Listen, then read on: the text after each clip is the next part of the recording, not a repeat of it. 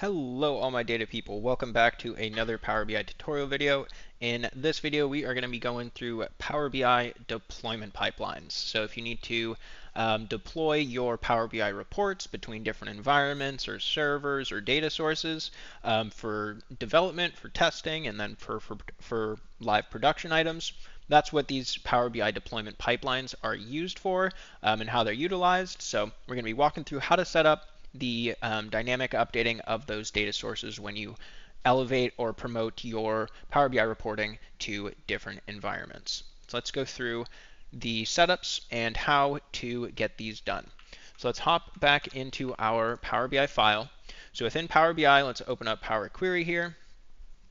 We are going to be using a parameter within our deployment pipelines to update these data sources. So within our model, what we need to do is we need to set all of our data sources to a parameter. And then when we're deploying in the service, we can set a parameter rule to have those parameters be updated to the different values and environments that we're deploying into during the deployment process.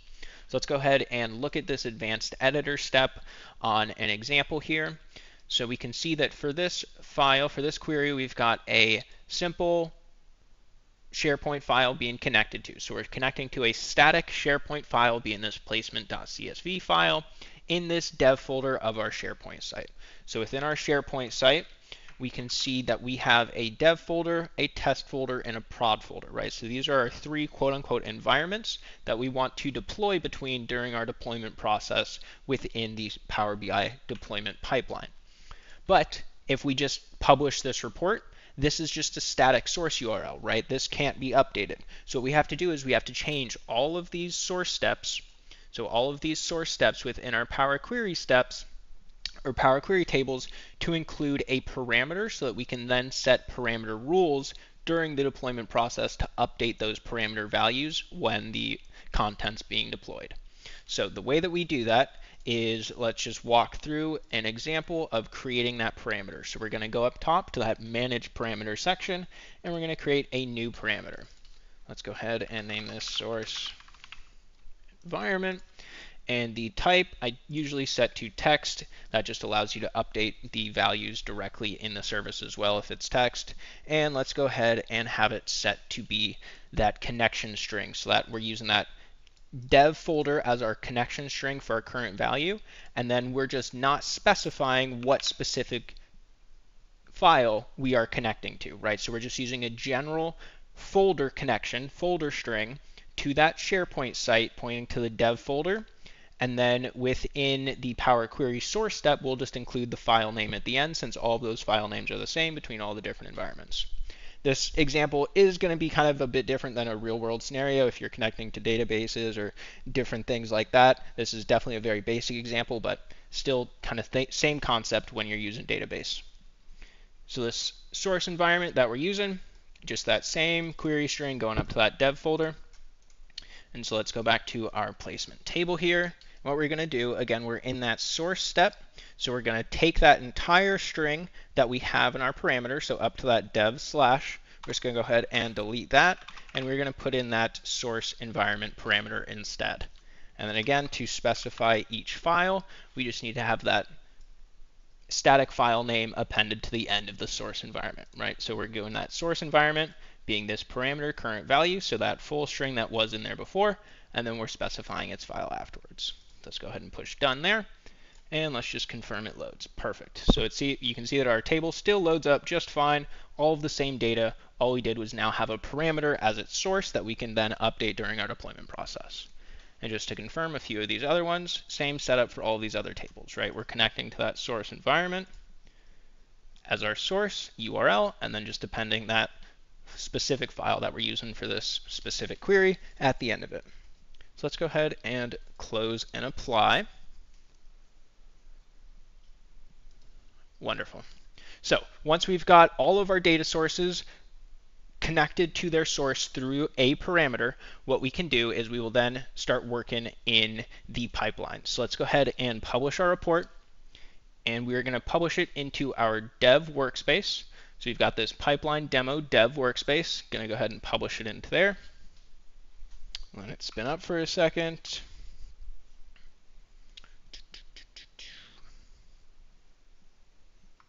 And success, wonderful. So once we've got our deployment, or once we've got our dev model published, let's hop into here and just take a look at the model settings. So in that, this again, this is where we just published into, into that dev workspace. Let's take a look at our settings here. And so within our parameter section of the model settings, we can see that we are connected to that initial parameter value that we provided it, right? So just that initial SharePoint folder string that we had it set to within the desktop that we just published it's using that dev folder. Right, so what we're going to be doing is throughout the deployment process of those pipelines, we're going to be changing that final little item to specify the various folders that we want to use within the elevated deployment process. So let's hop back into these deployment pipelines here. Let's create a new pipeline.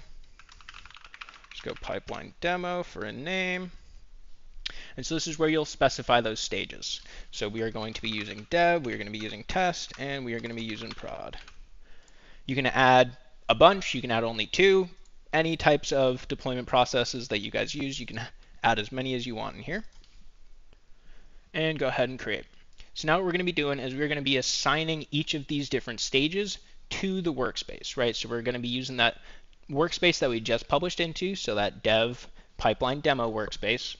And then let's go ahead and assign that. And then once you assign a workspace, it's no longer selectable from the dropdown. So for test, we're going to choose that test workspace. And for prod, we will choose the prod workspace.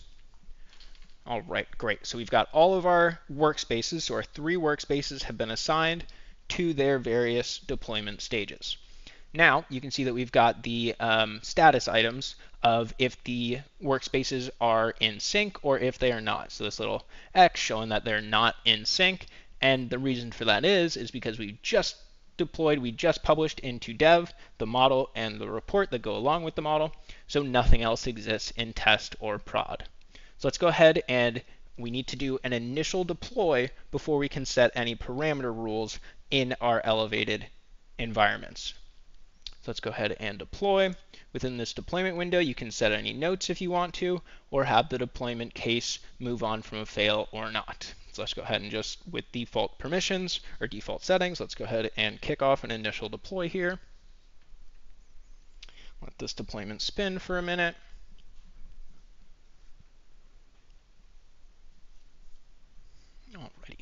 Now we can see that we are synced up between dev and test and no longer synced up between test and prod totally fine. So let's hop into our test workspace here. And so if we do the kind of the same little setup here, we go through to the settings of the test workspaces model.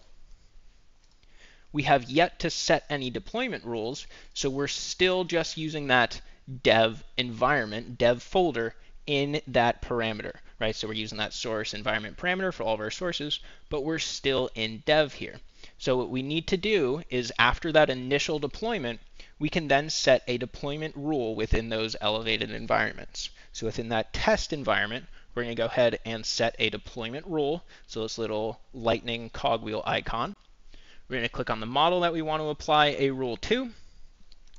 We are using a parameter rule. Let's go ahead and add a rule. Select the parameter that you're using.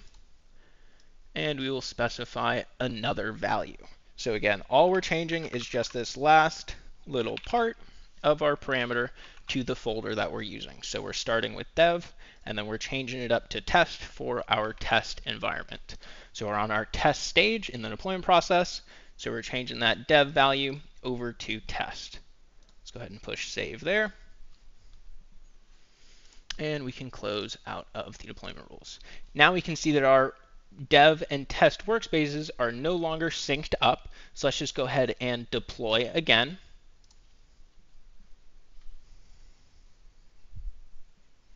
And now, once we go check on the model settings within the test environment, we'll, or in the test workspace, we'll see that that um, parameter value has been updated to show the test connection now.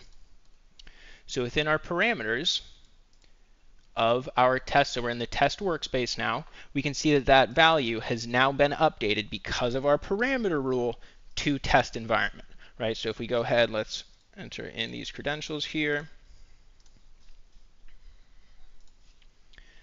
We will now see and be able to refresh our data in the test environment. So now we've gone from the dev stage over to the test stage, and we have successfully changed all of our sources to be connected to that test folder instead of the initially deployed dev folder.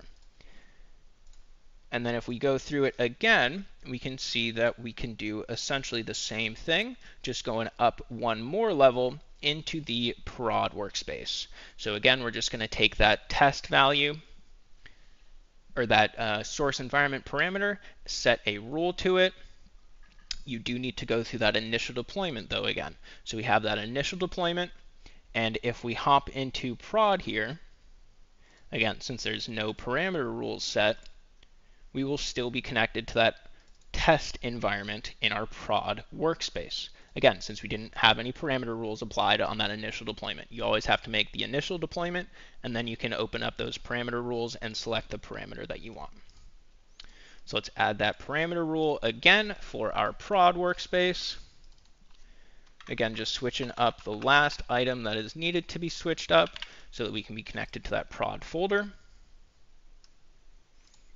And we can close out of that. And let's deploy that model one more time up into prod. And then once you do this, that deployment rule only needs to be set one time. And now that we can see that we are fully in sync between dev all the way up to prod, and we are connected to three different folders, three different source locations within all of that deployment. So let's start out in dev, we go to settings, parameters, we can see that we're in that dev workspace we published with. No parameter rule for the dev workspace. That's our dev environment. We're publishing with the dev one. Let's go over to test now.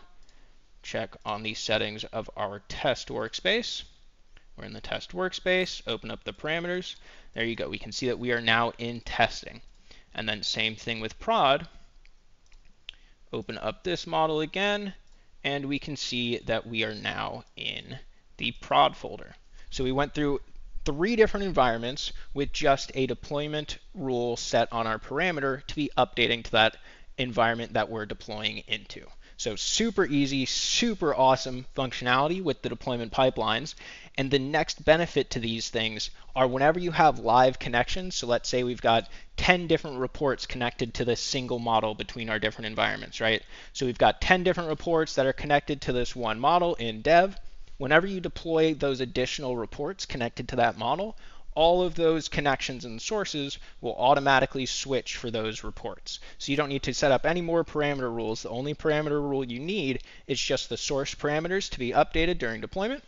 And then whenever you deploy multiple reports that are connected to that same model, those reports will get their connection, their live connection setting set to the model that they are being deployed into. So if you deploy a report from the dev that is connected to the pipeline demo model in dev into test, that report will automatically update its connection to be the same model in its environment it's being deployed into. So super helpful, super awesome way to use these Power BI pipelines is to just be able to deploy any type of your reports, any of your models between different environments so you can have those elevated environments deployed super easily. Hopefully that helps during your deployment processes. Let me know if you guys have any questions. Happy to help, talk through, help any issues you guys might have. I love these pipelines. They're awesome. Hopefully you guys can find some use out of them. And I will see you guys on the next one. Thanks for watching. Bye.